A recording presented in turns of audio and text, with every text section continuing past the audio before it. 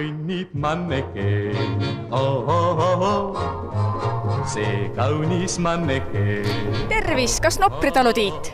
tervist, mina see olen. siit pidi saama sooja piima lauale. oi, mis põnev info. taludest on see võimalik ja, ja Nopri on tarbijateenistuses kulla ja karraga ehitud äh, aksessuaarid ei sobi lauta mitte. seega sooja piima järgi tuleb minna ikka teistmoodi.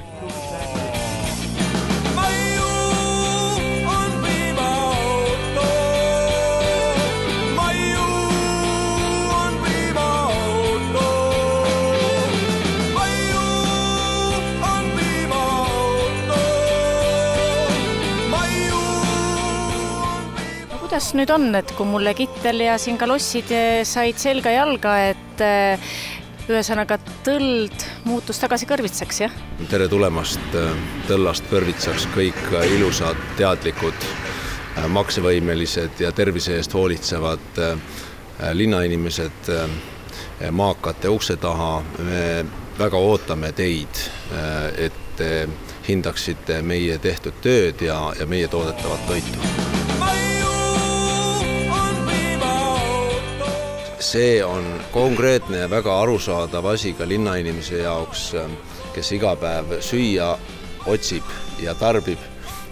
et, et nende jäetud raha ei sõida piiri taha, vaid, vaid on sellesse kohta suunatud, kelle tooteid lugupeetud tarbija ostis no olen kuulnud, et siin talus käib ka prominente ja su oma Väimeski on meil tuntud rallisõitja Marko Asmere. kui tihti annad talle hangu kätte, et vot nüüd tõstadki seda lehma nii-öelda sõnnikut?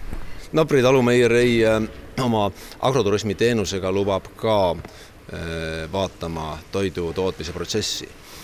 aga äh, hangu kätteandmist ei juhtu oma sugulastele ega külalistele tihti.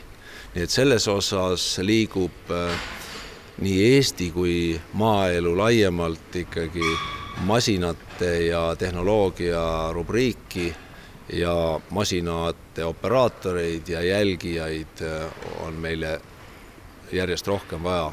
nii on see ka Nopris no kuidas sellega siis on, et kas Nopri talu süüki-jooki jagus iga Eesti pere kööki? Ehm, selle nimel töötame.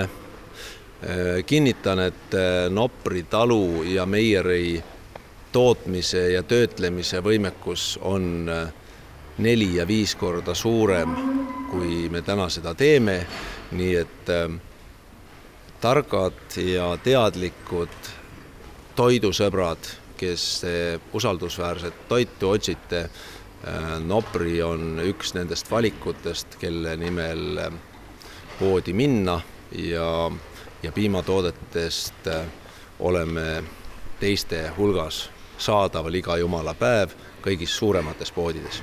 no vaatame, kas loomad kinnitavad su juttu. kas peremees rääkis õiget juttu?